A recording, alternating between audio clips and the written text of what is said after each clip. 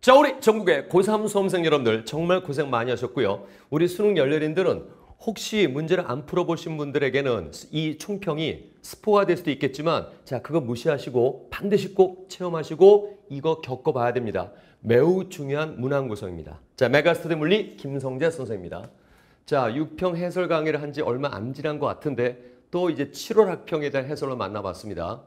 이렇게 시간이 그냥 덧없이 흘러간다? 아니요. 여러분 그런 조바심은 스스로가 분명히 준비가 안 되고 있는, 더디고 있는 게으른 그런 상태라고 스스로 자책하시고 시간의 흐름만 조바심 내지 마시고 그 흐르는 시간을 흐르는 시간에 몸을 맡기면 안 됩니다. 흐르는 시간을 밟고 지나가십시오. 하시는 겁니다. 자, 우리 이런 7월 학평 물리완. 자, 제가 총평 및 분석 특강이라 했었죠. 단순히 그저 문제 풀이법 이런 것들이 우리에겐 중요한 것이 아닙니다. 자, 그 문항을 구성하는 뼈대 그리고 우리 생각의 근거 이런 것들을 여러분들이 생각에 익숙함으로 반복으로서 준비가 돼야 됩니다.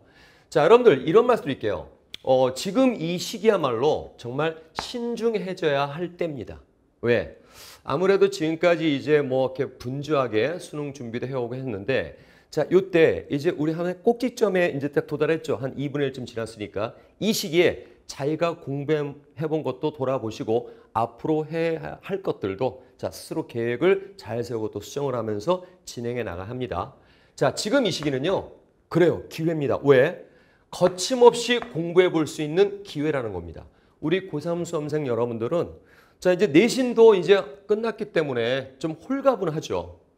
홀가분하죠, 솔직히. 자, 또 우리 수능 열렬인 여러분들도 사실 이 열렬 수능으로 준비를 한다 하더라도 사실 이 시기에 약간 슬럼프에 빠질 때거든요. 자, 하지만 이제 바로 어, 코앞에 닥쳤다는 그런 위기의식이 있기 때문에 좀 더 집중할 수 있고 매년마다 느낌은 이 시기가 가장 집중이 잘 되고 실컷 해볼 수 있는 그런 기회랍니다. 이거 잘 살리셔야 됩니다. 이것이 이 7월 평이 하나의 자극제 혹은 기폭제 야, 요것으로 이제 활용이 되면 너무너무 좋은 것이죠.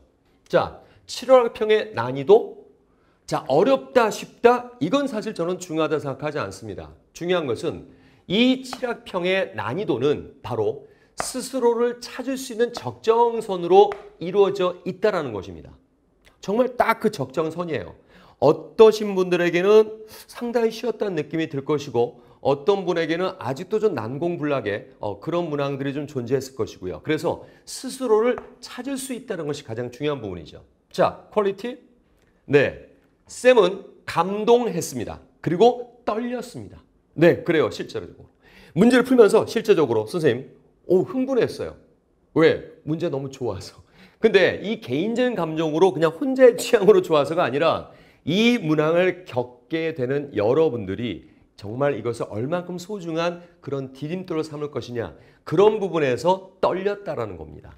자 그런데 제가 신중해져야 할 때라고 했었죠. 자 개념 결핍 증세가 심하다는 걸 스스로 찾으셔야 됩니다. 자 그 증거로요 5번 이거 표준모요 그리고 기본 입자 얘기하는 거죠. 5번에서 할 수 있어요. 오, 45%.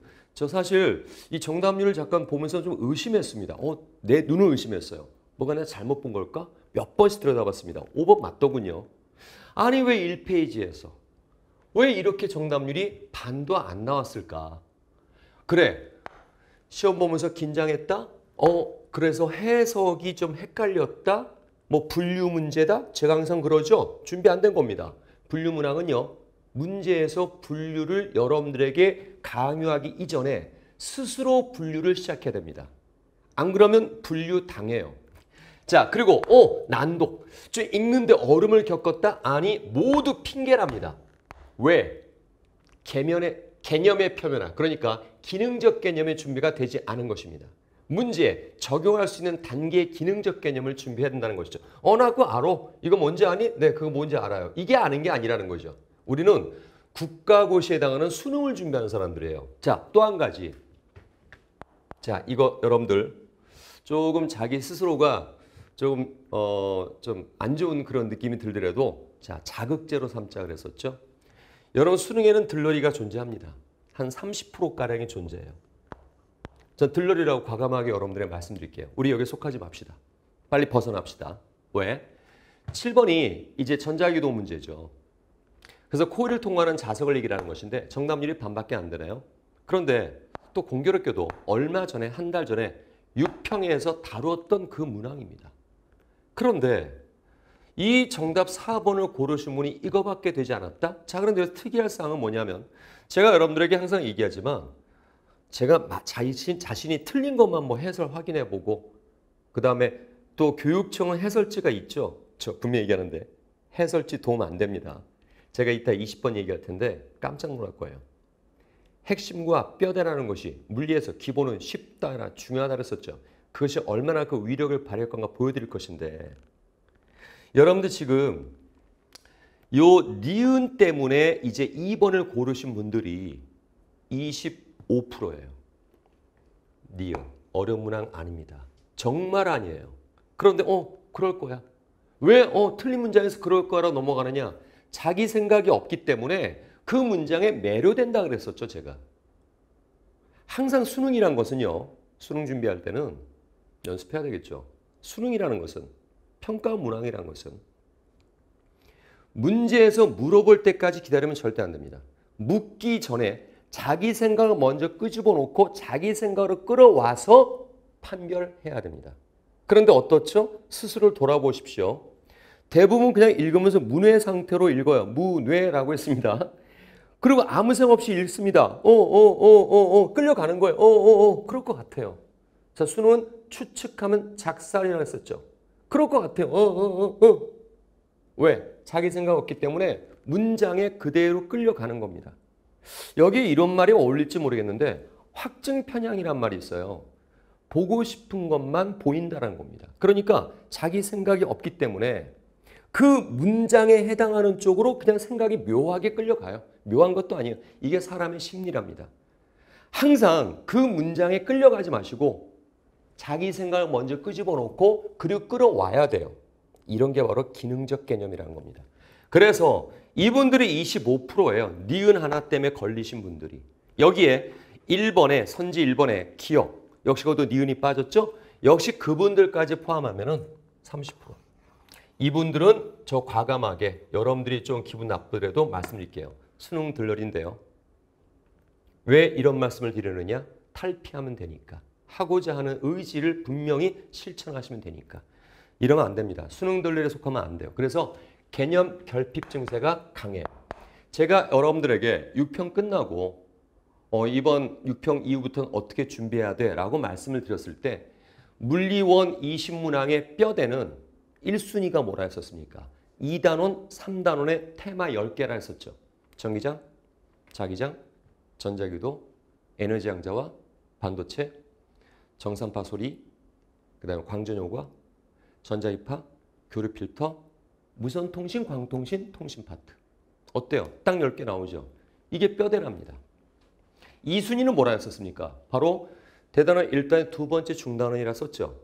케플러, 특수론, 일반 상대론은 잘안 나오지만 그래도 일반 상대론도 포함되어 있고 그리고 표준명과 기본 입자.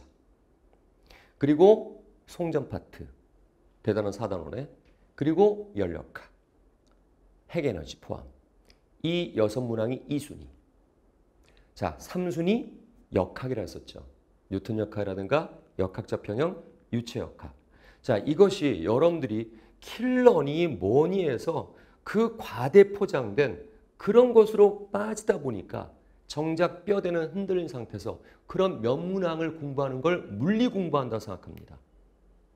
수능은 그렇지 않습니다. 교과가 골고루 나오는 부분이에요. 삼순이라 해서 하지 말란 얘기가 절대 아니에요. 꾸준하게 해나가시란 얘기입니다. 하지만 무엇보다도 이런 부분에서 작살이 나면 등급을 등급의 비빌 언덕은 나타나지 않는다는 것입니다. 자, 그래서 궁금해하는 최저 정답률 문항부터 제가 설명은 드리는데 이 분석 특강을 드리는데 버트 이 문항이 중요한 게 아니라는 겁니다. 아니 이거는 그래 시간 모자르고 어려서 틀려 앞에는 깜빡깜빡 실수에 틀려 남는 게 없는 거죠. 앞부분이 정확하게 확보가 돼야 돼요. 15, 16번까지가 3페이지까지가 확보가 되지 않으면 4페이지는 없는 겁니다.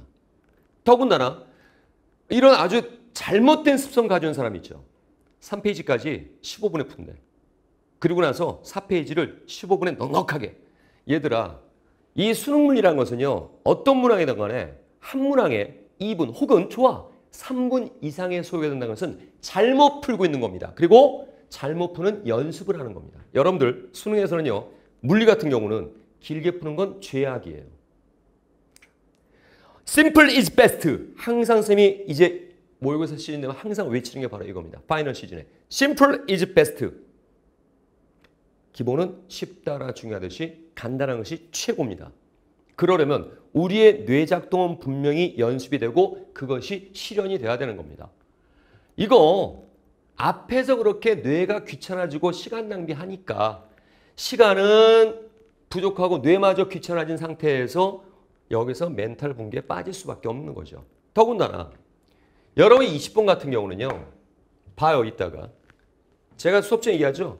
가, 나 특히 유체역학 파트에서 부력이 포함되는 시그마 에피콜 0이 바로 대전제가 되는 거죠. 힘의 평형.